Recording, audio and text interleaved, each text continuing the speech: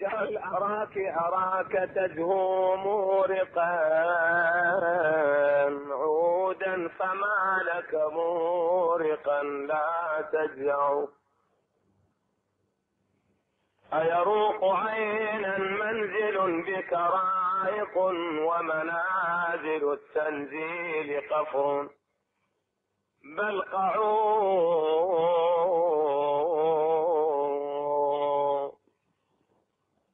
والدين قوض أهله فمحله دثر وشتت شمله متجمع.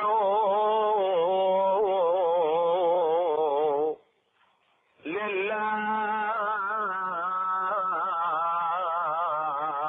أقمار أفلن بكربلاء. ولا بيثرب والمحصب مطلع أنست بهم أرض الطفوف وأوحشت. أضبات يثرب والمقام أرفع طف تعبرا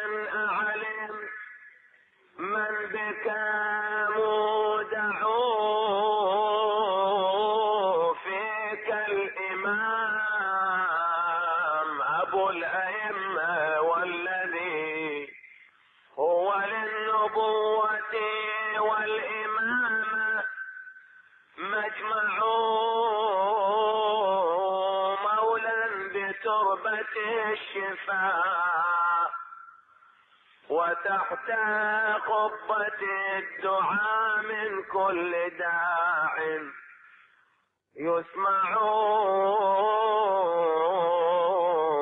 فيك الذي أشجى البتول ونجلها وله النبي وصلوه متفجع فحياة أصحاب الكساء حياته وبيوم مصرعي جميعا صرعوا ما أحدث الحدثان خطبا فاضحا. إلا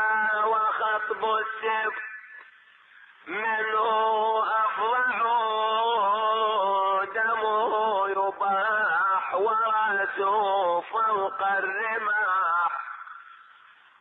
وشلوه بشب الصفاح موزع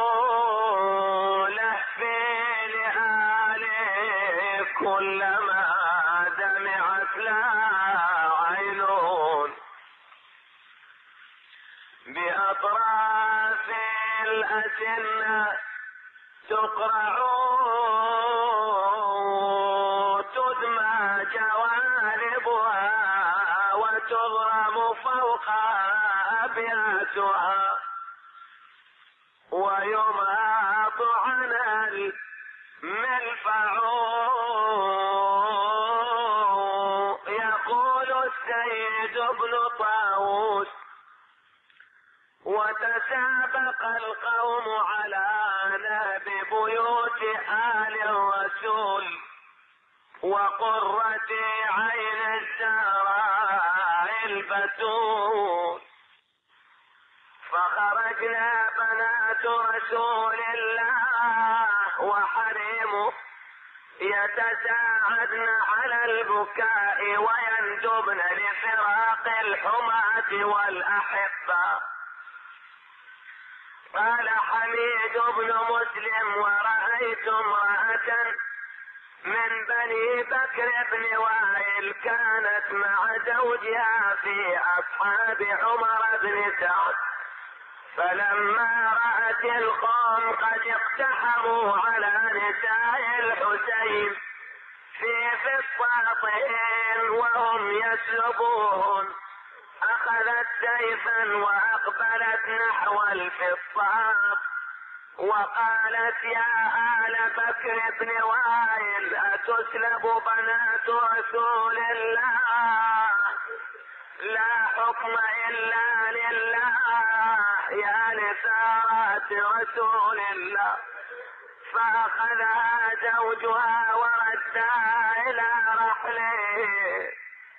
ثم أخرجوا النساء من الخيام وأشعلوا فيها النار. فخرجن حواسر مسلبات حافيات باكيات فقلنا للأعداء بحق الله إلا ما مررتم بنا على مصرع الحسين. فمروا بهن على المصاريع فلما نظرت النسوة القتلى صحن وضربن وجوههن مروا بهن على القتلى مصرحتين ما بين منعفر في جايا بمصطلم ومذ رأت زينب جسمايا الحسين عليا بوغى خضيبا بدم النايحر واللممي ترسان عيني حسين خيا أملي وعقد جمالي المنغودا ودعتك الله يا عيوني خويا يرجون عنك ياخذوني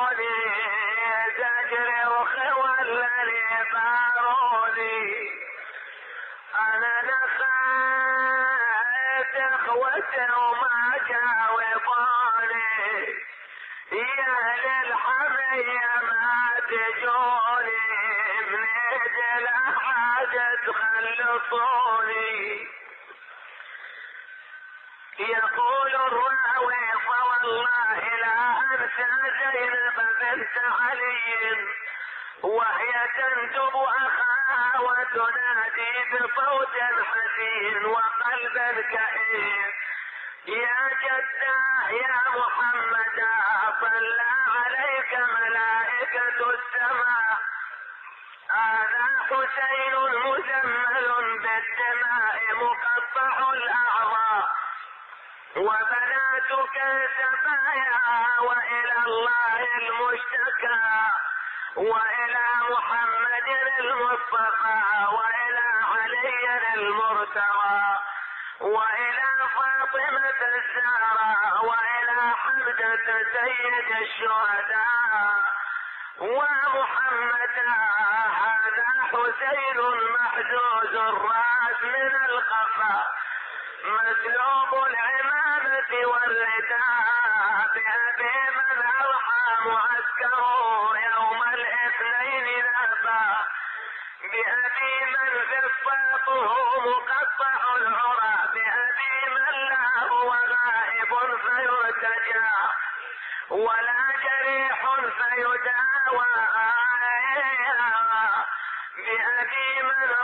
ردت له الشمس حتى صلى فأبكت والله كل عدو وصدي ثم إن سكينة سألت من عمتها لمن تخاطبي فأجابتها أخاطب أباك الحسين فألقت بنفسها من محملها إلى جسد أبيها واعتنقت جثتها.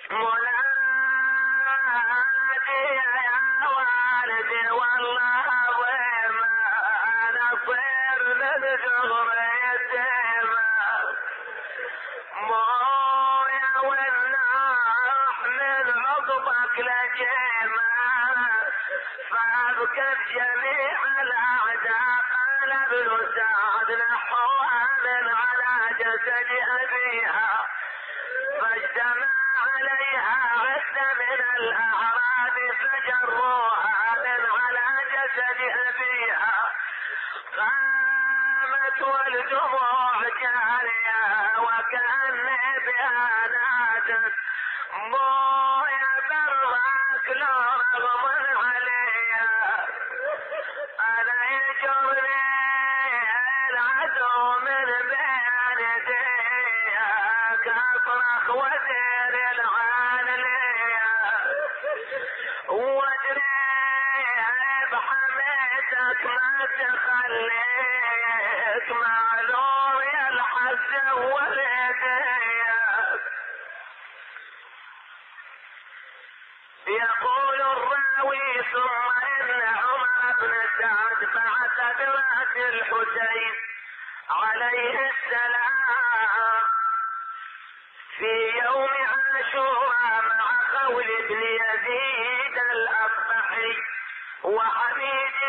مسلم الازدي إلى عبيد الله بن زياد وأمر برؤوس الباقين من أصحابه وأهل بيته فقطعت وجرح بها مع شمع بن الجوشن وقيس بن الأشعث وعمر بن الحجاج فأقبلوا حتى قدموا بها إلى الكوفة.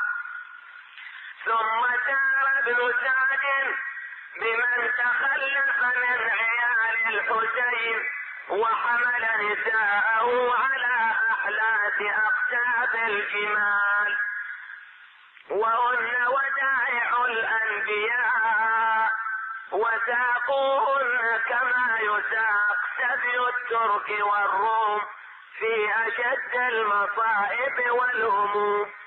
وروي أن رؤوس أصحاب أبي عبد الله كانت ثمانية وسبعين رأسا فاقتسمتها القبائل لتتقرب إلى ابن زياد وإلى يزيد فجاءت كلدة بثلاثة عشر رأسا وصاحبهم قيس بن الأشعث وجاءت هوازن باثني عشر رأسا وصاحبهم شبر بن الجوشن وجاء التميم بسبعة عشر رأسا وجاء بنو أسد بستة عشر رأسا.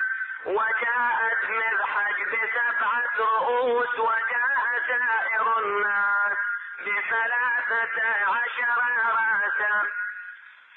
ولما انفصل ابن سعد عن كربلاء خرج قوم من بني أسد وصلوا على تلك الجثث الطوائر الزواكي ودفنوها على ما هي الآن عليه.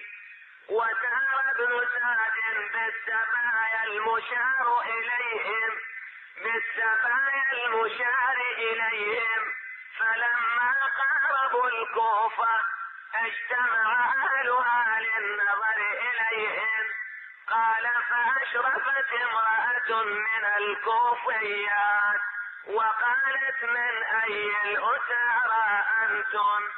فأجابتها بنات علي نحن أسارى آل محمد صلى الله عليه وآله وسلم. فنزلت من سطحها فجمعت لهن ملا وأجر ومقالع فأعطتهن. وقد غص وقد غصت الطرقات في وجوه أهل البيت. وكأني بالعقيل نادت شمال الناس تتفرج علينا عمت عين اليصيد.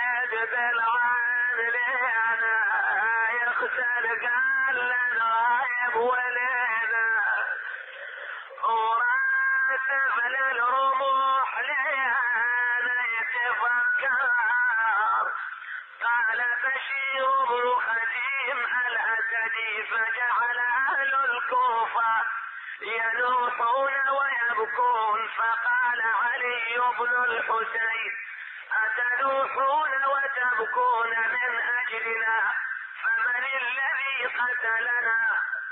ونظرت إلى زينب بنت علي يومئذ ولم أر خفرة أنطق منها كأنها تفرغ عن لسان أبيها أمير المؤمنين.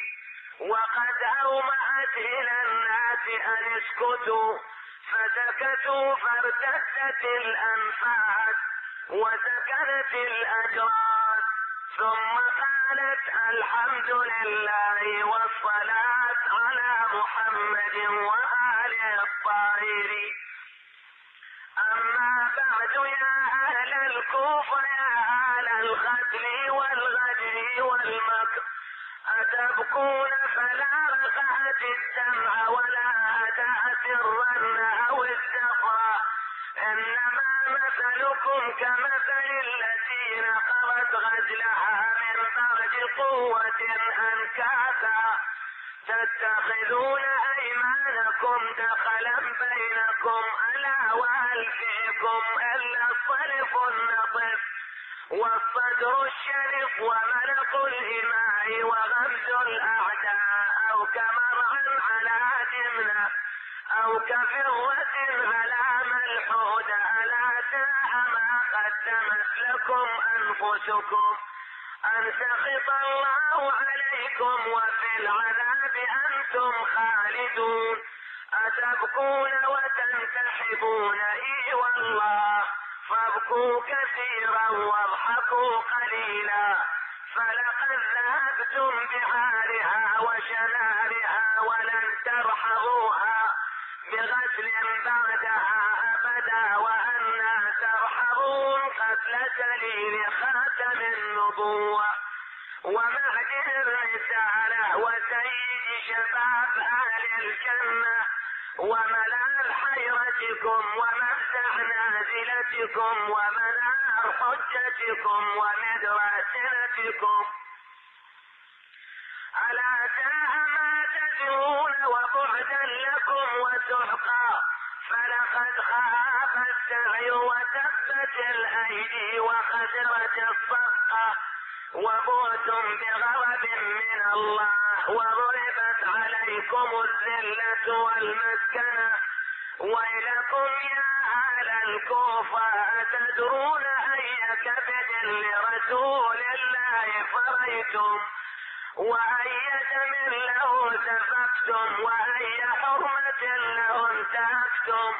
وأي كريمة له أبرزتم لقد جئتم بها طلعاء عنقاء سواء فقما خرقاء شواك طلاع الأرض وملء السماء. أفعجبتم أم مطرت السماء دما؟ ولعذاب الله أخزى وأنتم لا تنصرون. فلا يستخفنكم المال فإنه لا يحفزه البدار. ولا يخاف فوت الثار وإن ربكم لبالمرصاد فرأيت الناس حيارى يبكون وقد وضعوا أيديهم في أفواههم. ورأيت شيخا إلى جنبي يبكي قد بل لحيته بدموع عيني. وهو يقول وهو يقول بأبي أنتم وأمي شبابكم خير الشباب وكولكم خير الكول ونساؤكم خير النساء ونسلكم خير ناس لا يخزى ولا يخزى وخطبت بعدها فاطمة الصغرى وكان لها من العمر أحد عشر سنة فأبكت جميع من حضر فقالت الحمد لله عدد الرمل والحصى وزنة العرش إلى الثرى أحمده وأؤمن به وأتوكل عليه وأشهد أن لا إله إلا الله وحده لا شريك له وأن محمدا عبده ورسوله. وأن أولاده ذبحوا بشط الفرات من غير نحل ولا اعتراض اللهم إني أعوذ بك أن أفتري عليك الكذب أو أن أقول عليك. خلاف ما أنزلت عليه من أخذ العهود لوصيه علي بن أبي طالب المسلوب حق المقتول من غير ذنب. كما قتل ولده بالأمس في بيت من بيوت الله. فيه معشر مسلمة بألسنتهم تحتا لرؤوسهم. ما دفعت عنه ضيما في حياته ولا عند مماته. حتى قبضته إليك محمودا نقيبا طيب العريكة معروف المناقب مشهور المذاهب. لم تأخذه اللهم فيك لومة لائم ولا عدل عادل هديته اللهم للإسلام صغيرا. وحمدت مناقبه كبيرا ولم يزل ناصحا لك ولرسولك حتى قبضته إليك زاهدا في الدنيا غير حريص عليها راغبا في الآخرة مجاهدا لك في سبيلك. رضيته فأتيته إلى صراط مستقيم. أما بعد يا أهل الكوفة يا أهل المكر والغدر والخيلاء فإنا أهل بيت ابتلانا الله بكم وابتلاكم بنا فجعل بلاءنا حسنا وجعل علمه عندنا وفهمه لدينا فنحن عيبة علمه ووعاء فهمه. وحكمته وحجته على الأرض في بلاده لعباده وأكرمنا الله بكرامته وفضلنا بنبيه محمد صلى الله عليه وآله وسلم على كثير ممن خلق تفضيلا بينا. فكذبتمونا وكفرتمونا ورأيتم قتالنا حلالا وأموالنا نهبا كأننا أولاد ترك أو كابل كما قتلتم جدنا بالأمس وسيوفكم تقطر من دمائنا أهل البيت لحقد متقدم قروت لذلك عيونكم وفرحت قلوبكم افتراء على الله ومكرا مكرتم والله خير الماكرين. فلا تدعونكم أنفسكم إلى الجبل بما اصبتم من دمائنا ونالت أيديكم من أموالنا. فإنما أصابنا من المصائب الجليلة. والرزء العظيم في كتاب من قبل أن نقرأ إن ذلك على الله يسير لكي لا تأسوا على ما فاتكم ولا تفرحوا بما آتاكم والله لا يحب كل مختال فخور. تبا لكم فانتظروا اللعنة والعذاب فكان قد حل بكم. وتواترت من السماء نقمات فيسحتكم بعذاب ويذيق بعضكم بأس بعض ثم تخلدون في العذاب الأليم يوم القيامة بما ظلمتمونا. ألا لعنة الله على الظالمين. ويلكم أتدرون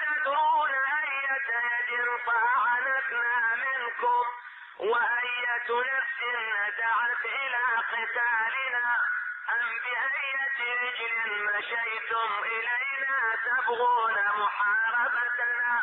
والله قست قلوبكم وغلظت أكبادكم وطبع على أفئدتكم وختم على سمعكم وبصركم وسول لكم الشيطان وأملى لكم وجعل على بصركم غشاوة فأنتم لا تهتدون فتقبل لكم يا أهل الكوفة أي تراث لرسول الله قبلكم؟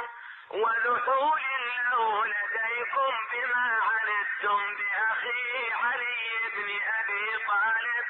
عليه السلام جد بنيه وعترته الطيبين الأخيار.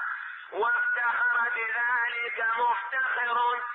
فقال نحن قتلنا عليا وبني علي بسيوف هندية ورماح وسفينا نساءهم سبي ترك ونطحناهم فأي نطاح؟ بفيك أيها القائل الكذكث والأسلب افتخرت بقتل قوم زكاهم الله وطهرهم وأذهب عنهم الرجس فاكظم وقعك ما أقعى أبوك فإنما لكل امرئ ما كسب. وما قدمت يداه أحدثتمونا ويلا لكم على ما فضلنا الله تعالى به. فما ذنبنا إن جاش دهرا بحورنا وبحرك ساج ما يواري التعامطا ذلك فضل الله يؤتيه من يشاء والله ذو الفضل العظيم. ومن لم يجعل الله له نورا فما له من نور فارتفعت الأصوات بالبكاء والنحيب وقالوا حسبك يا ابنة الطيبين فقد أحرقت قلوبنا وأمضيت نحورنا وأبرمت أجوافنا فسكتت وخطبت أم كلثوم بنت علي عليهما السلام. في ذلك اليوم من وراء كلتها رافعة صوتها بالبكاء فقالت يا أهل الكوفة سواة لكم. ما لكم خذلتم حسينا. قتلتموه وانتهبتم أمواله وورثتموه. نساءه ونكبتموه فتبا لكم وسحقا ويلكم. أتدرون أي دواء دأتكم؟ وأي وزر على ظهوركم حملتم؟ وأي دماء سفكتموها؟ وأي كريمة أصبتموها وأي صبية سلبتموها وأي أموال اكتابتموها قتلتم خير رجالات بعد النبي. ونزعت الرحمة من قلوبكم. ألا إن حزب الله هم المفلحون وحزب الشيطان هم الخاسرون. قتلتم أخي ظلما فويل لأمكم. ستجزون نارا حرها يتوقد سفكتم دماء حرم الله سفكها وحرمها القرآن ثم محمد فضج الناس بالبكاء والنحيب ونشرت النساء شعورهن ووضعن التراب على رؤوسهن وخمشن وجوههن ولطمن خدودهن ودعون بالويل والثبور وبكى الرجال فلم ير باك وباكية أكثر من ذلك اليوم فقالوا نحن كلنا يا ابن رسول الله. سامعون مطيعون حافظون لذمامك غير زاهدين فيك ولا راغبين عنك. فمرنا بأمرك. يرحمك الله. فإنا حرب لحربك وسلم لسلمك.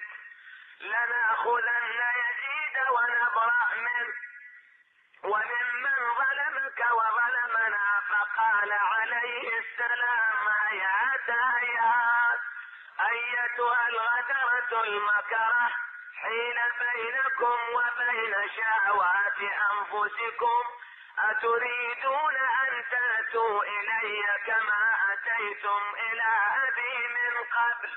كلا ورب الراقصات فإن الجرح لما يندمل قتل أبي صلوات الله عليه بالأمس وأهل بيته معه ولم ينسني ولم ينسني سكل رسول الله. وسكل أبي وبني أبي وجده والله بين لهاتي ومرارته بين حناجري. وحلقي وغصص تجري في فراش صدري. ومسألتي أن تكونوا لا لنا ولا علينا. ثم قال لا غر إن قتل الحسين فشيخه قد كان خيرا منه وأكرما فلا تفرحوا يا أهل كوفان بالذي أصيب حسين كان ذلك أعظما قتيل بشط النار روحي فداؤه جزاء الذي أرتاح نار جهنم. ثم قال عليه السلام رضينا منكم رأسا براس فلا لنا ولا علينا. قال الراوي ثم إن جلس في القصر للناس وأذن إذنا عاما. وجيء برأس الحسين فوضع بين يداه. فجعل ينظر إليه ويتبسم. وكان في يده سوط فجعل يضرب به ثنايا. ويقول إنه كان حسن الثغر. ثم قال لقد أسرع الشيب إليك أبا عبد الله. يوم بيوم بدر وكان عنده أنس بن مالك فبكى وقال كان أشباههم برسول الله وكان مخضوبا بالوسمة وكان إلى جانبه زيد بن أرقم صاحب رسول الله وهو شيخ كبير. فلما رآه يضرب ثناياه قال له ارفع صوتك عن هاتين الشفتين. فوالله الذي لا إله غيره لقد رأيت شفتي رسول الله. ما لا احصي كثرة يقبلهما ثم انسحب باكيا فقال له ابن زياد أبكى الله عينك أتبكي لفتح الله. لولا أنك شيخ قد خرفت وذهب عقلك لضربت عنقك. فنام زيد بن أرقم من بين يديه وهو يقول أيها الناس أنتم العبيد.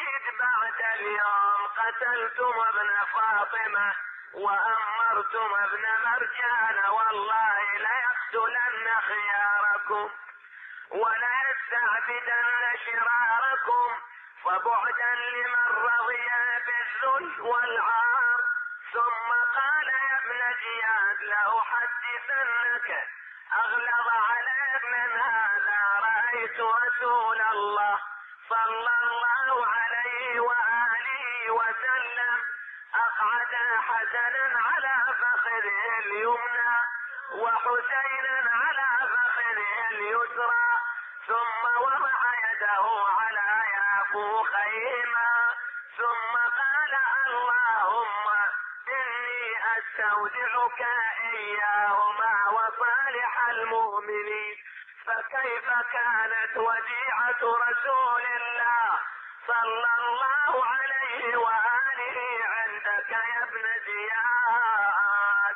وأدخل نساء الحسين وصبيانه إلى مجلس ابن زياد فجلست زينب بنت علي متنكرة فسأل عنها فقيل هذه زينب ابنة علي.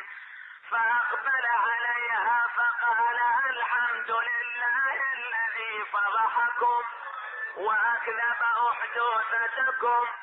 فقالت إنما يفتضح الفاسق ويكذب الفاجر وهو غيرنا يا الله. فقال ابن زياد كيف رأيت صنع الله بأخيك وأهل بيتك فقالت ما رأت إلا جميلا. هؤلاء قوم كتب الله عليهم القتل فبرجوا إلى مضاجعهم وسيجمع الله بينك وبينهم فتحاج وتخاصم فانظر لمن الفلك. ثكلتك أمك يومئذ يا ابن مرجانه قال الراوي فغضب ابن زياد وكأنه هم بها فقال له عمرو بن حريث إنها امرأة والمرأة لا تؤاخذ بشيء من منطقها. فقال لا ابن زياد لقد شفى الله قلبي من طاغيتك الحسين والعصاة المردى من آل بيتك. فقالت لعمري لقد قتلت كالي وقطعت فرعي. واجتثثت واجتثثت أصلي فإن كان هذا شفاك فقد اشتفيت. فقال ابن زياد هذه سجاعة ولعمري لقد كان أبوك شاعرا سجاعا فقالت يا ابن زياد ما للمرأة والسجاعة إن لي عن السجاعة لشغلا ولكن نفث صدري بما قلت ثم التفت ابن زياد إلى علي بن الحسين عليهما السلام فقال من هذا؟ فقال علي بن الحسين. فقال أليس قد قتل الله عليا؟ فقال علي عليه السلام كان لي أخ يقال له علي بن الحسين. قتله الناس. فقال بل قتله الله. فقال علي عليه السلام الله يتوفى الأنفس حين موتها والتي لم تمت في منامها. فقال ابن زياد أولك جرأة على رد جوابي؟ خذوه فاضربوا عنقه. فسمعت به عمته زينب فتعلقت به. فقالت يا ابن زياد حسبك ما أبدت من دمائنا انك لم تبخ منا أحدا. فإن كنت قد عزمت على قتله فاقتلني قبلك. وأنا اليوم لا والد لي ولا.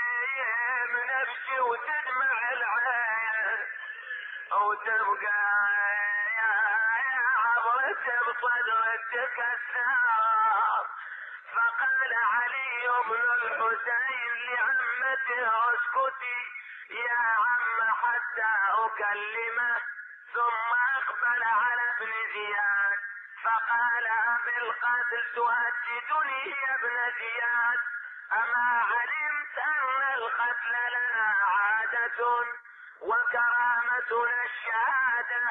ثم أمر ابن زياد بعلي بن الحسين فحمل إلى داره إلى جنب المسجد الأعظم.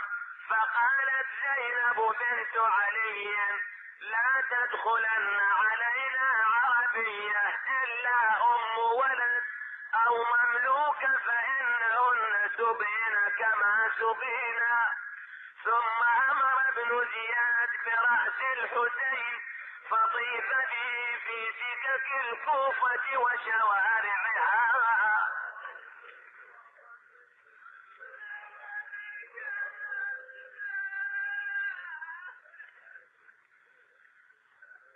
ثم إن ابن زياد ثم إن ابن زياد صعد المنبر فحمد الله وأثنى عليه وقال في بعض كلامه الحمد لله الذي أظهر الحق وآله ونصر الأمير يزيد وأشياعه وقتل الكذاب ابن الكذاب. فما زاد على هذا الكلام شيئا حتى قام إليه عبد الله بن عفيف الأزدي وكان من خيار الشيعة وزهادها. وكانت عيناه قد ذابت وكانت عينه اليسرى قد ذابت في يوم الجمل والأخرى في يوم صفين. وكان يلازم المسجد الأعظم يصلي فيه إلى الليل. فقال يا ابن مرجانة إن الكذاب ابن الكذاب. أنت وأبوك ومن استعملك وأبوك. يا عدو الله أتقتلون أبناء النبيين وتتكلمون بهذا الكلام على منابر المسلمين. فغضب ابن زياد وقال من هذا المتكلم؟ فقال أنا المتكلم يا عدو الله. أتقتل الذرية الطاهرة التي قد اذهب الله عنها الرجس وطهرها تطهيرا وتزعم أنك على دين الإسلام. وغوثاه أين أولاد المهاجرين والأنصار؟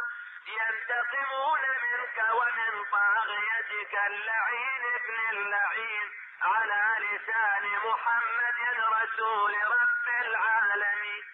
قال فازداد غضب ابن زياد حتى انتفخت اوداجه وقال علي به فتبادرت إليه الجلاوزة من كل ناحية ليأخذوه فقامت الأشراف من الأز من بني عمه فخلصوه من أيدي الجلاوزه واخرجوه من باب المسجد وانطلقوا به إلى منزله فقال ابن زياد اذهبوا إلى هذا الأعمى أعمى الأز أعمى الله قلبه كما أعمى عينيه فأتوني به.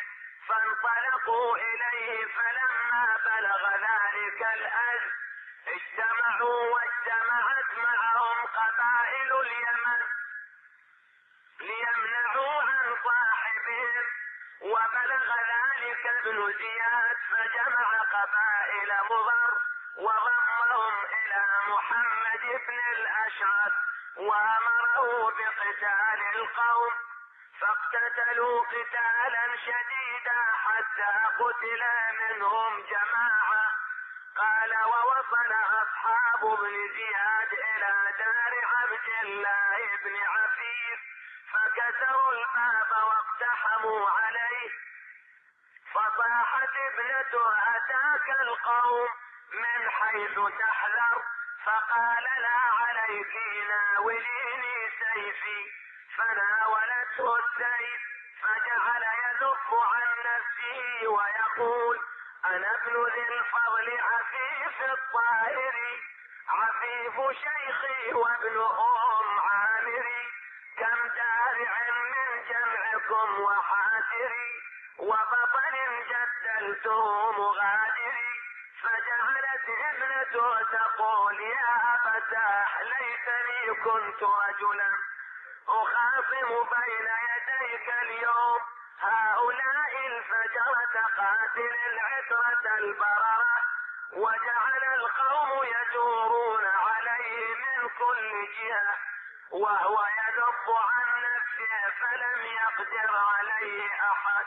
وكلما جاءه من جهة قالت يا أبتي جاءوك من جهة كذا. حتى تكاثروا عليه وأحاطوا به فقالت ابنته وذو الله يحاط بأبي وليس له ناصر يستعين به فجعل يدير سيفا وهو يقول أقسم لو يفتح لي عن بصري ضاق عليكم موردي ومصدري. قال الراوي فما زالوا به حتى اخذوه ثم حمل فأدخل على ابن زياد. فلما رآه قال الحمد لله الذي اخزاك فقال له عبد الله بن عفيف يا عدو الله. وبماذا أخزاني والله لو فرج لي عن بصري ضاق عليك موردي ومصدري. فقال ابن زياد يا عدو الله ما تقول في عثمان بن عفان؟ فقال يا عبد بني علاج يا ابن مرجانة. وشتمه ما أنت وعثمان اساء أو أحسن واصلح أم أفسد. والله تبارك وتعالى ولي خلقه يقضي بينهم. ولكن سلني عن أبيك وعنك وعن يزيد وأبيه. فقال ابن زياد والله لا سألتك عن شيء أو تذوق الموت غصة بعد غصة؟ فقال عبد الله بن عفيف الحمد لله رب العالمين. أما إني قد كنت أسأل الله ربي أن يرزقني الشهادة من قبل أن تلدك أمك وسألت الله أن يجعل ذلك على يدي العن خلقه وأبغضهم إليه فلما كف بصري يئس من الشهادة. والآن فالحمد لله الذي رزقنيها بعد الياس منها وعرفني الإجابة من في قديم دعائي. فقال ابن زياد اضربوا عنقه فضربت عنقه وصلب في السبخة. قال الراوي وكتب عبيد الله بن زياد إلى يزيد بن معاوية يخبره بقتل الحسين عليه السلام وخبر آل بيته. فلما وصل كتاب عبيد الله بن زياد إلى يزيد ووقف عليه أعاد الجواب إليه فيه بحمل رأس الحسين ورؤوس من قتل معه وبحمل أثقاله ونسائه وعياله. قال ابن الجوزي وفسار القوم بهم وكلما نزلوا منزلة ابن أبي طالب ابن فاطمة بنت رسول الله. قال هذا رأس ابن بنت نبيكم؟ قالوا نعم. قال بئس القوم أنتم لو كان للمسيح ولد لأسكناه أحداقنا ثم قال هل لكم في شيء؟ قالوا وما هو؟ قال عندي عشرة آلاف درهم. تأخذونها وتعطون الرأس يكون عندي تمام الليل وإذا رحلتم تأخذوه؟ قالوا وما فناولوه الرأس وناولهم الدراهم.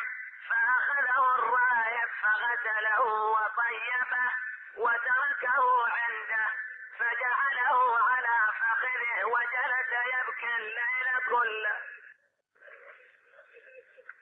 فلما أسفر الصوف قال يا رأس لا أملك إلا نفسي وأنا أشهد أن لا إله إلا الله.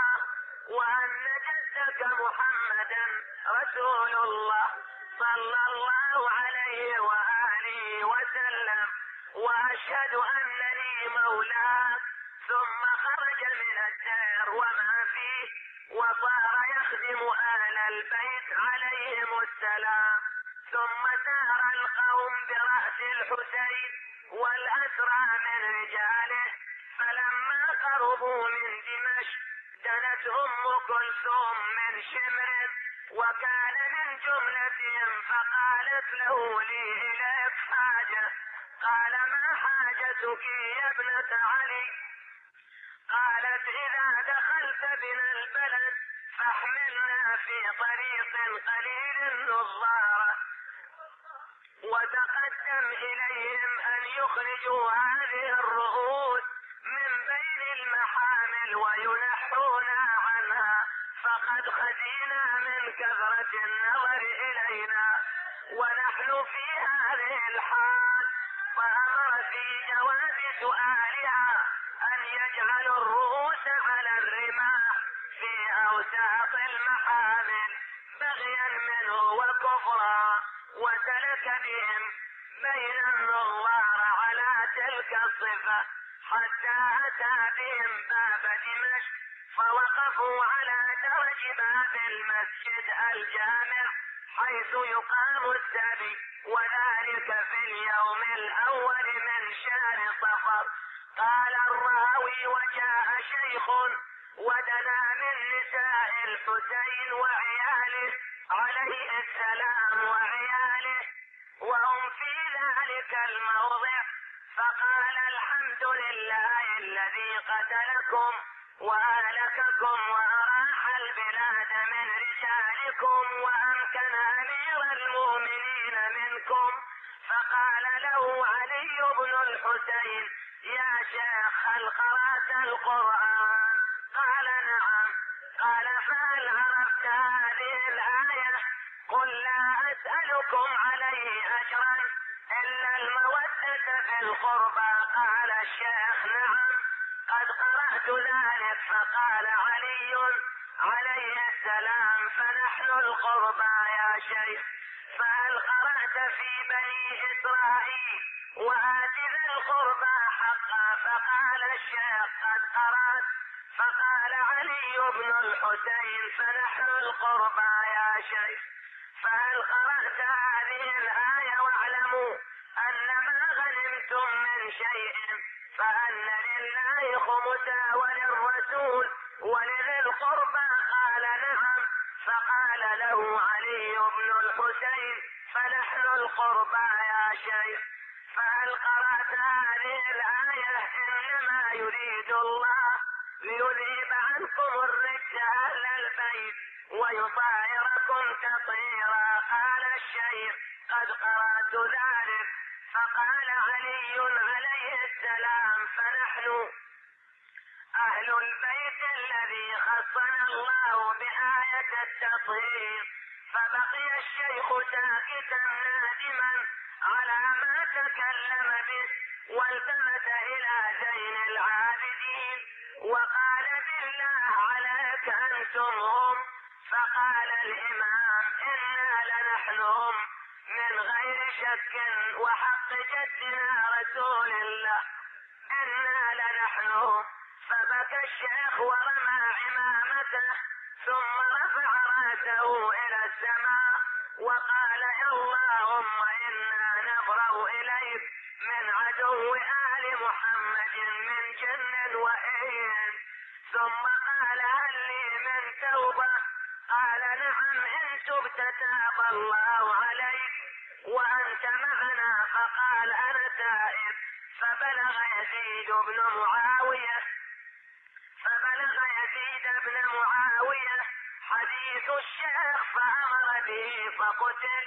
قال سهل بن سعد الساعدي خرجت إلى بيت المقدس حتى توسطت الشام فإذا أنا بمدينة مضطردة الأنهار كثيرة الأشجار وقد علقوا الستور والحجر والديبات وهم فرحون مستبشرون وعندهم نساء يلعبن بالدفوف والطبول فقلت في نفسي ألأهل الشام عيد لا نعرفه نحن. فرأيت قوما يتحدثون فقلت يا قوم لكم بالشام عيد لا نعرفه. نحن قالوا يا شيخ نراك غريبا. فقلت أنا سال بن سعد قد رأيت محمدا صلى الله عليه وآله وسلم. قالوا يا سهل ما أعجبك السماء لا تمطر دما والارض لا تنخسف باهلها قلت ولماذا؟ قالوا هذا رأس الحسين. عترة محمد صلى الله عليه وآله وسلم يهدى من أرض العراق. فقلت وعجبا يهدى رأس الحسين والناس يفرحون. فقلت من أي باب يدخل؟ فأشاروا إلى باب الساعات فبين أنا كذلك. فرأيت الرايات يتلو بعضها بعضا فإذا نحن بفارس بيده لواء منزوع السنان عليه رأس من أشبه الناس وجها برسول الله. صلى الله عليه وآله وسلم. ومن ورائه نسوة على جمال بغير وطاء فدنوت من أولاهن فقلت يا جارية من أنت؟ فقالت أنا سكينة بنت الحسين. فقلت ألك حاجة إلي؟ فأنا سهل بن سعد. ممن رأى جدك رسول الله وسمعت حديثه.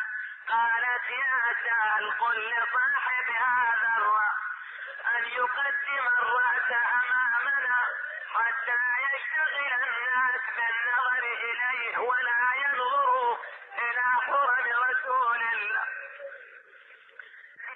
وتأخذ مني أربعمائة دينار. قال وما هي؟ قلت تقدم الرأس أمام الحرم. ففعل ذلك ودفعت إليه ما وعدته. قال الزهري لما جاءت الرؤوس كان يزيد في منظرة له على جيرون فأنشد لنفسه وقد سمع غرابا ينهب لما بدت تلك الحمول وأشرقت تلك الشموس على ربا جيرون نعب الغراب فقلت صح أو لا تصح فلقد قضيت من الغريب ديوني ثم أدخل ثقل الحسين. عليه السلام مع نسائه ومن تخلف من أهل بيته. على يزيد بن معاوية وهم مقرنون في الحبال. فلما وقفوا بين يديه وهم على تلك الحال قال له علي بن الحسين عليه السلام انشدك الله يا يزيد ما ظنك برسول الله؟ لو رآنا على هذه الحاله والصفة فأمر والله ولأم والله ما ذاكلت ولا لأميرك يزيد فغضب يزيد وقال كذبت إن ذلك لي. ولو شئت أن أفعل لفعلت قالت زينب كلا والله ما جعل الله لك ذلك إلا أن تخرج من ملتنا وتدين بغير ديننا.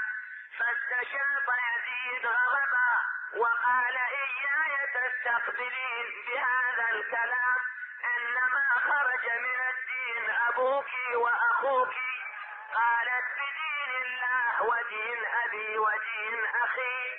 اهتديت أنت وجدك وأبوك إن كنت مسلما.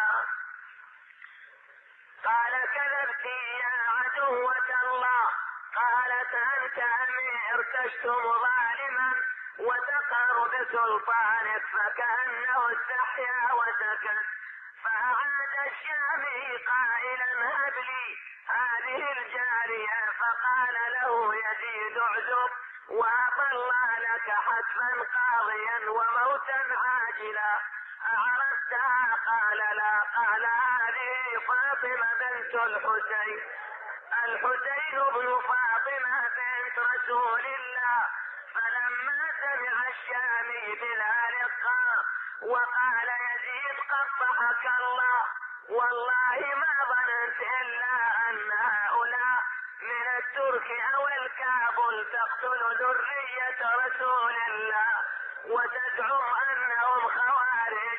فلما سمع يزيد ذلك غضب من كلام الشامي فامر به ان يقتل فقتل رضوان الله عليه. ودعا يزيد برأس الحسين ووضعه امامه في طشت من ذهب وكانت النساء خلفه. فقامت سكينة وفاطمة يتطاولان النظر إليه ويزيد يستره عنهما.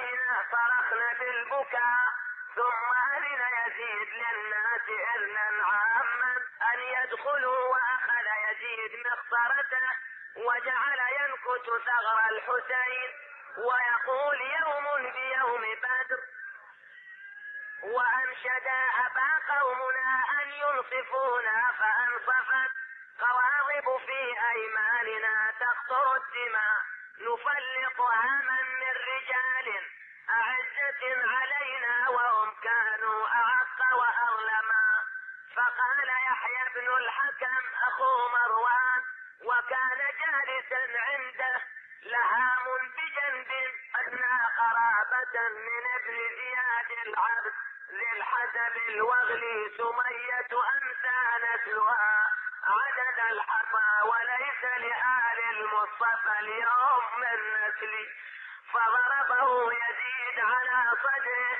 وقال اسكت لا أم لك. وأما العقيل زينب فإنها لما رأته آوت إلى جيبها فشقته. ثم نادت بصوت حزين يفرح القلوب. يا حسين يا حبيب رسول الله. يا ابن مكة وبنا يا ابن فاطمة الزهراء سيدة النساء. خويا يا يا عسى نبتسل وأروح وياك أولاي شوفتي مخلوق مثل ما يا أشوف الرجس يضرب ثنايا يا ريت يتامى لا عدمناك ويا يا لي أضمنا يا ما جرى على حد وشاف يا يا ضربين العد جرحا وشاف يا سبط العايا وشاف يا يا عصيت وسبحاني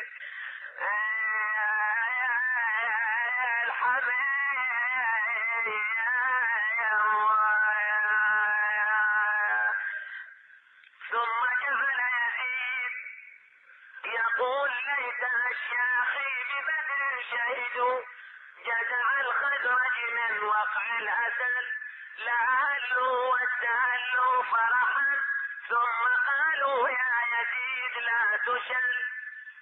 قد قتلنا القرن من ساداتهم وعدلناه ببدر فاعتدل لست من خند فإن لم أنتقم. من بني أحمد ما كان فعل لعبت هاشم بالملك فلا. خبر جاء ولا وحي نزايا فبينه ويترنم بأبياته وإذا بصوت العقيل يصك مسامعه إذ لم تسمع أحدا يرد على يزيد بن معاوية. فقامت وقالت زينب سلام الله عليها. الحمد لله رب العالمين وصلى الله على رسوله وآله أجمعين. صدق الله سبحانه حيث يقول ثم كان عاقبة الذين أساءوا السوء أن كذبوا بآيات الله وكانوا بها يستهزئون. أظننت يا يزيد. حيث أخذت علينا أخبار الأرض وآفاق السماء فأصبحنا نساق كما تساق الأسرى أن بنا على الله هوانا وبك عليه كرامة وأن ذلك لعظم خطرك عنده فشمخت بأنفك ونظرت في عطفك.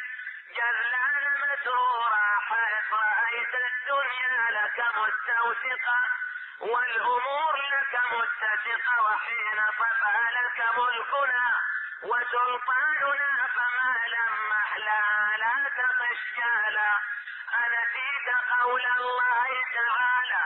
ولا يحسبن الذين كفروا أنما نملي لهم خير لأنفسهم إنما نملي لهم ليزدادوا إثما ولهم عذاب مهين. أمن العادل يا ابن الطلقاء تقديرك حرائرك وإماءك وذوقك بنات رسول الله قد هتكت ستورهم. وأبديت وجوههم تحدو بهن الأعداء من بلد إلى بلد. ويستشرفهن أهل المناهل والمناقل ويتصفح وجوههن القريب والبعيد والدني والشريف. ليس معهن من حماتهن حمي ولا من رجالهن ولي. وكيف ترتجى مراقبة من لفظ فوق أكباد الأذكياء ونبت لحمه من دماء الشهداء وكيف يستبطأ في بغضنا أهل البيت؟ من نظر إلينا بالشنف والشنآن والإحل والأبغاض ثم تقول غير متأثم ولا مستحضر واستهلوا فرحا ثم قالوا يا يزيد لا تشل منحريا على ثنايا أبي عبد الله. تنكتها بمخصرتك وكيف لا تقول ذلك؟ وقد نكات القرح واستاصلت الشعب بإراقتك دماء ذرية محمد صلى الله عليه وآله وسلم. ونجوم الأرض من آل عبد المطلب وتهتف بأشياخ زعمت أنك تناديهم. فلتردن وشيكا موردهم ولتودن أنك شللت وبكم. ولم تكن قلت ما قلت ولا فعلت ما فعل. اللهم خذ لنا بحقنا وانتقم ممن ظلمنا واحلل غضبك بمن سفك دماءنا وقتل حماتنا فوالله ما فريت الا جلدك ولا حدثت الا لحمك ولتردن على رسول الله صلى الله عليه واله بما تحملت من سفك دماء ذريته وانتهكت من حرمته. في عترته ولحمته حيث يجمع الله شملهم ويلم شعثهم ويأخذ بحقهم. ولا تحسبن الذين قتلوا في سبيل الله أمواتا. بل أحياء عند ربهم يرزقون. وحسبك بالله حاكما وبمحمد خصيما وبجبرائيل ظهيرا وسيعلم من سول لك ومكنك من رقاب المسلمين. بئس للظالمين بدلا. وأيكم شر مكانا وأضعف جندا.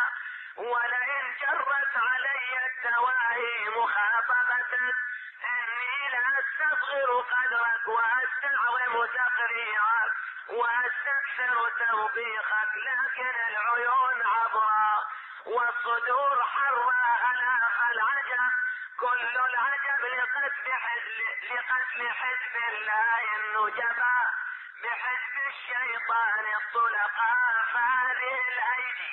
تنطف من دمائنا والأفواه تتحلب من لحومنا. وتلك الجثث الطواهر الزواكي تنتابها العواسل وتعبرها أمهات الفراعل ولئن اتخذتنا مغنما لتجدنا وشيكا مغرما حين لا تجد إلا ما قدمت يداك وما ربك بظلام للعبيد. وإلى الله المشتكى وعليه المعول. فكد كيدك واسعى سعيك وناصب جودك فوالله لا تمحو ذكرنا ولا تميت وحينا ولا تدرك أمدنا. وهل رأيك ولا ترحض عنك عارا؟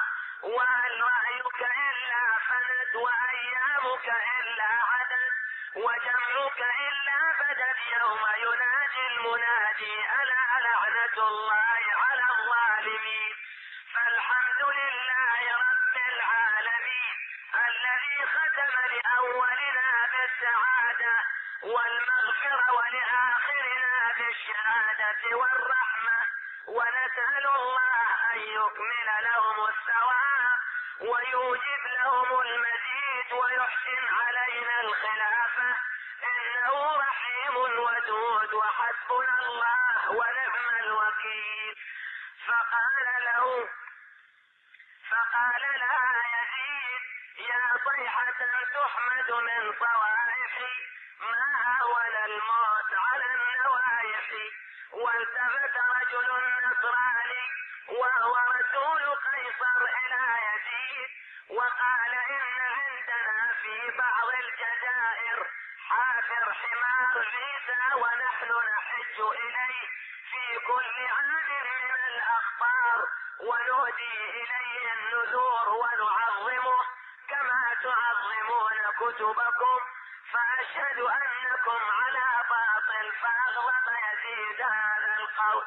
وأمر بقتله فقام إلى الرأس وقبله وتشهد الشهادتين. ثم أخرج الرأس من المجلس وطلبه على باب القصر ثلاثة أيام. فسمعت هند بنت عمرو بذلك زوجة يزيد.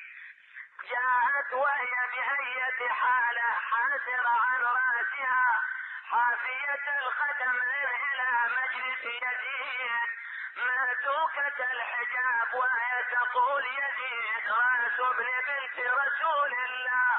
على باب دارنا فقام إليها يزيد وغطاها وقال لا ولي على إحياء فإنه صريخة بني هاشم.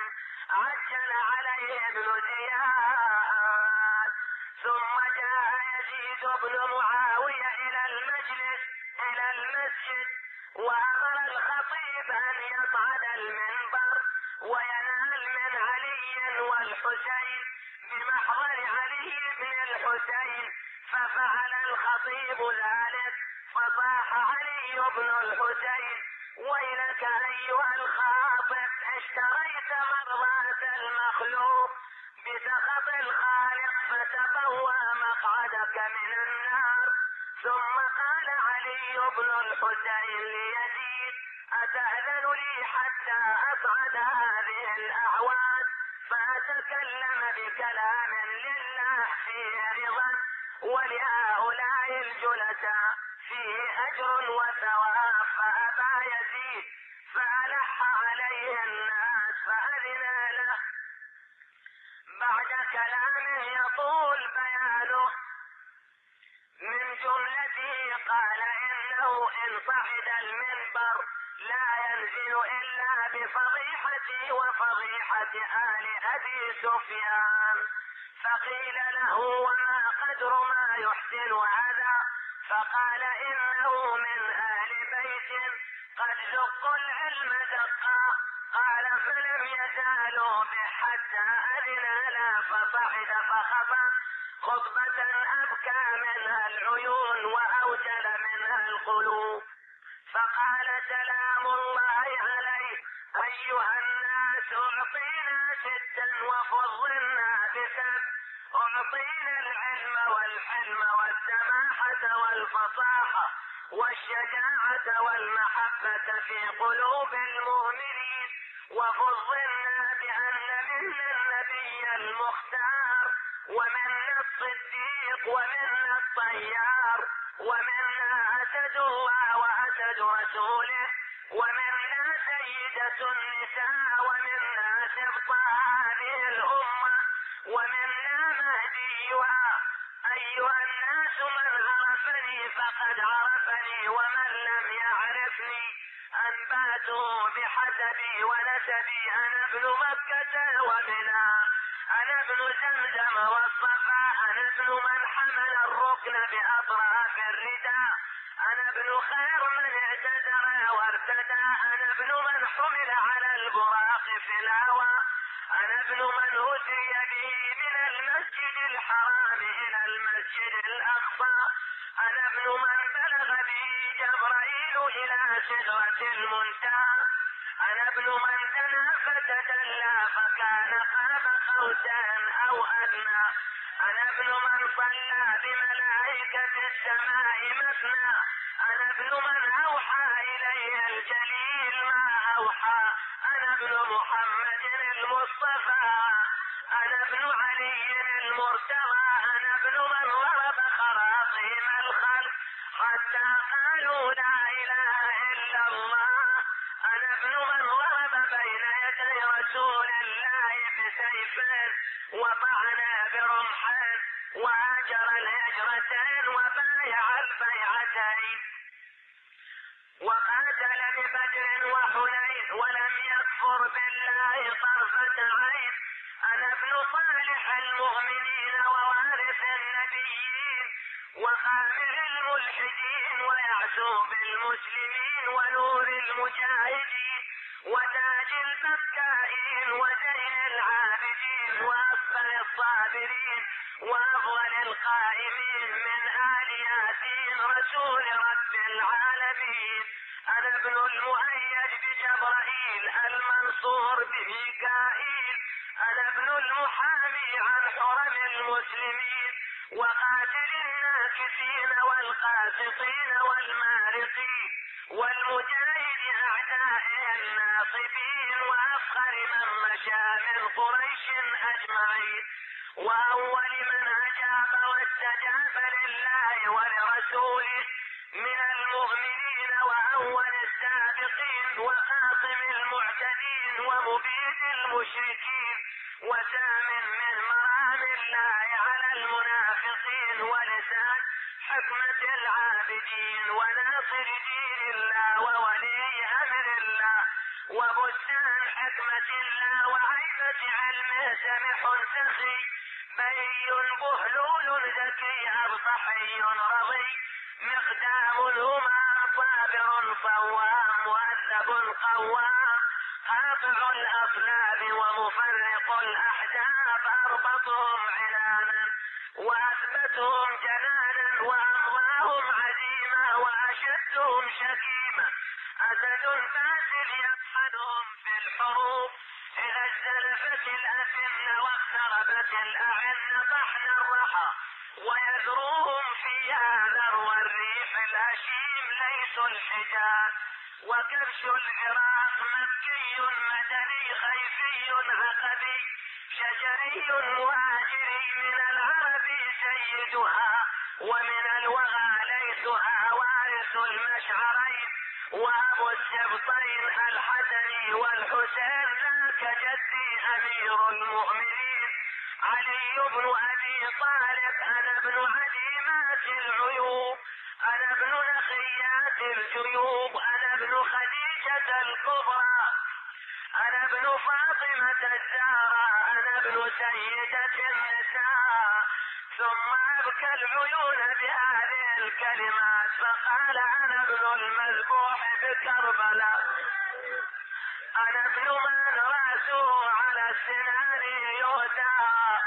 أنا ابن من حرمه من كربلاء إلى الشام تسبى. فلم يزل يقول أنا أنا حتى ضج الناس بالبكاء والعويل فخاف يزيد من وقوع الفتنة قال للمؤذن أذن ليقطع عليه كلامه فلما قال المؤذن الله أكبر. قال الإمام زين العابدين كبرت كبيرا لا يقال ولا شيء أكبر من الله. فلما قال المؤذن أشهد أن لا إله إلا الله. قال زين العابدين شهد بها شعري وبشري ولحمي ودمي وعظمي وجلدي ومخي. فلما قال المؤذن أشهد أن محمدا رسول الله. التفت إليه زين العابدين وهو بعد على المنبر؟ وقال يزيد محمد هذا جدي أم جدك؟ فإن زعمت أنه جدك فقد كذبت وكفرت وأثم. وإن زعمت أنه جدي فلم قتلت ذريته؟ وسبيت نسايا فنزل الإمام زين العابدين. من على المنبر هذا وقد تفرق من كان في المسجد والتفوا حول الإمام زين العابدين يقول المنهل فجئت إلى مسلما عليه فقلت له سيدي يا ابن رسول الله كيف أمسيت؟ قال أمسينا كمثل بني إسرائيل في آل فرعون. يذبحون أبناءهم ويستحيون نساءهم. أمست العرب تفتخر على العجم بأن محمدا منها وأمست قريش تفتخر على سائر العرب بأن محمدا منها وأمسينا معشر أهل بيت مقتولين مشردين. فإنا لله وإنا إليه راجعون. قال المنهال وبينا يكلمني. إذ امرأة خرجت خلفة تقول إلى أين يا نعم الخلف فتركني وأسرع إليها. فسألت عنها قيل هذه عمته زينايا. ولما خشي يزيد الحكمة وانقلاب الأمر عليه عجل بإخراج الإمام زين العابدين والعيال من الشام إلى وطنهم ومقرهم ومكنهم مما يريدون وأمر النعمان بن بشير وجماعة معهم أن يسيروا معهم إلى المدينة مع الرفق ولما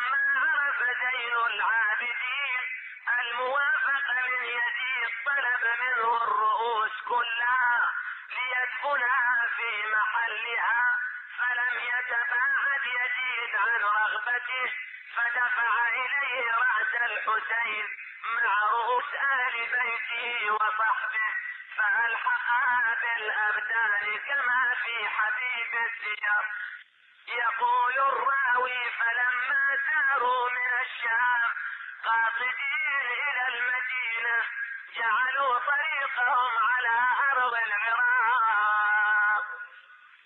فلما قاربوا كربلاء قالوا للدليل مر بنا على طريق كربلاء فلما وصلوا إلى موضع المصرع وجدوا جابر بن عبد الله الأنصاري وجماعة من بني هاشم ورجالا من الرسول الرسول.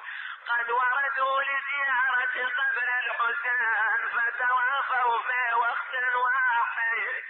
وتلاقوا بالبكاء والحزن واللطم وأقاموا الماتم واجتمع عليهم أهل ذلك السواد وأقاموا على ذلك أياما عن عطية العوفي قال خرجت مع جابر بن عبد الله الأنصاري رضي الله عنه سائرا قبر الحسين بن علي.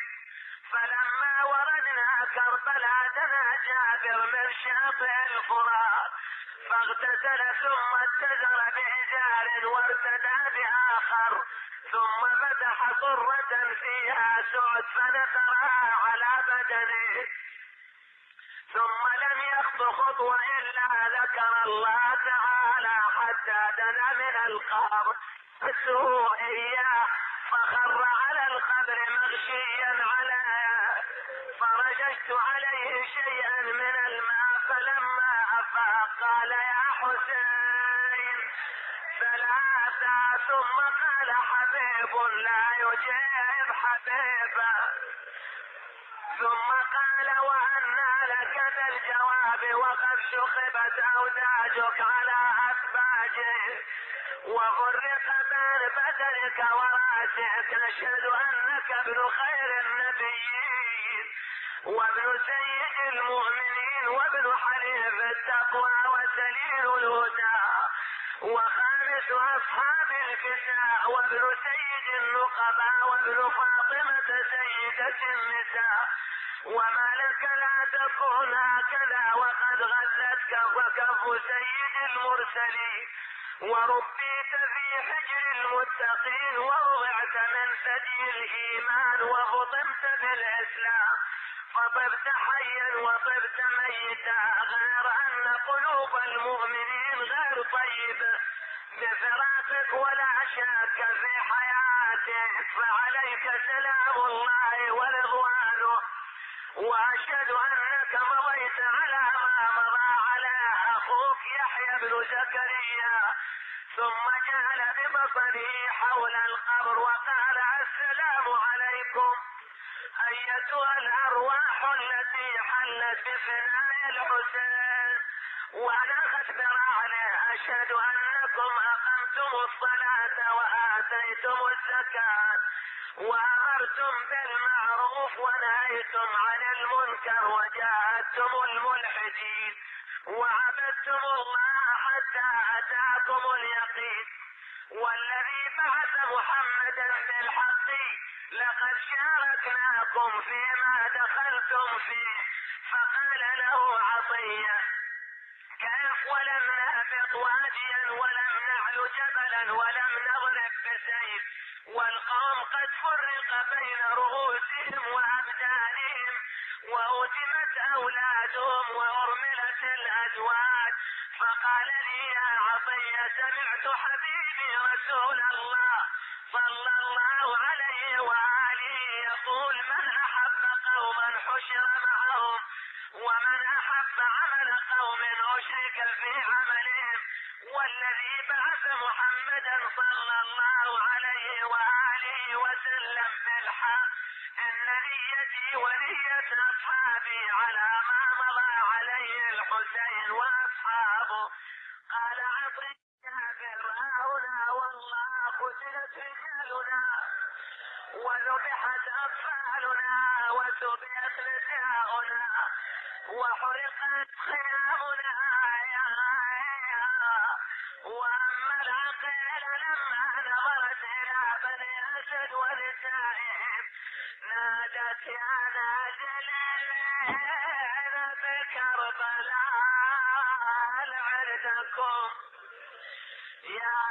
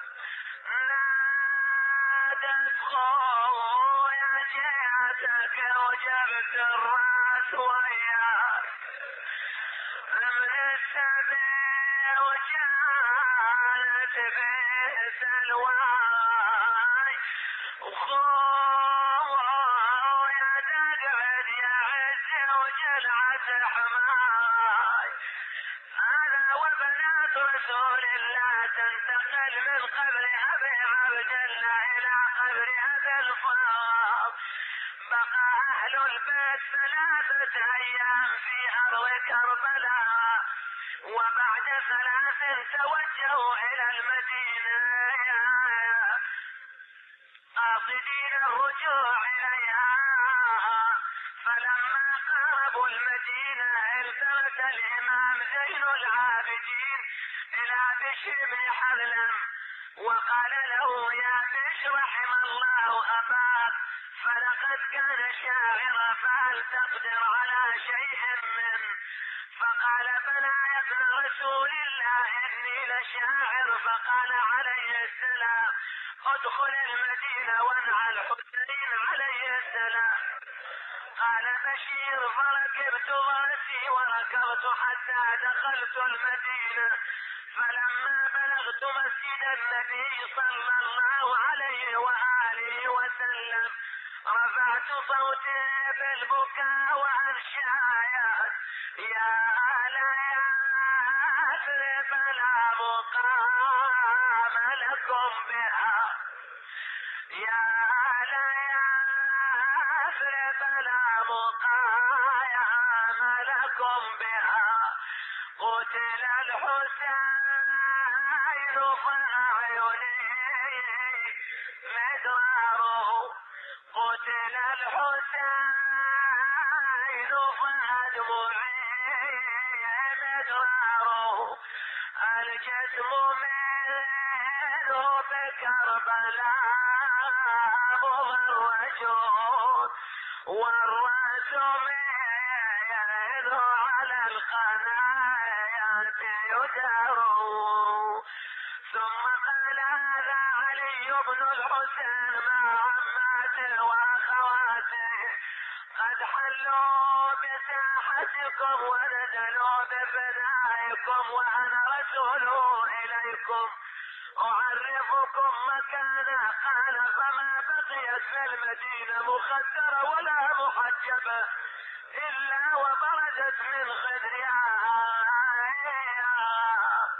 ضاربة وجهها داعية بالويل والثبور فلم أر باكيا أكثر من ذلك اليوم ولا يوما أمر على المسلمين مين وأما بنات رسول الله جئنا إلى دار أبي عبد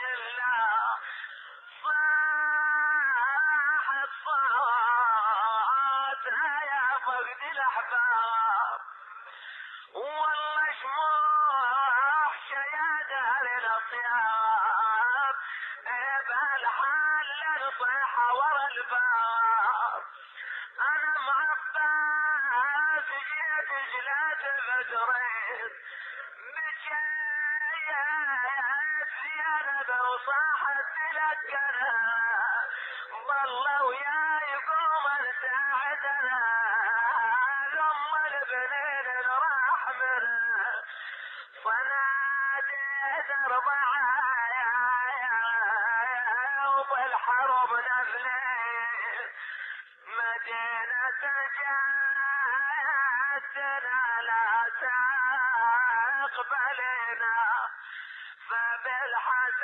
فبالحسرات والأحزان جينا. خرجنا من قبل أهلنا جمعايا رجعنا لا رجال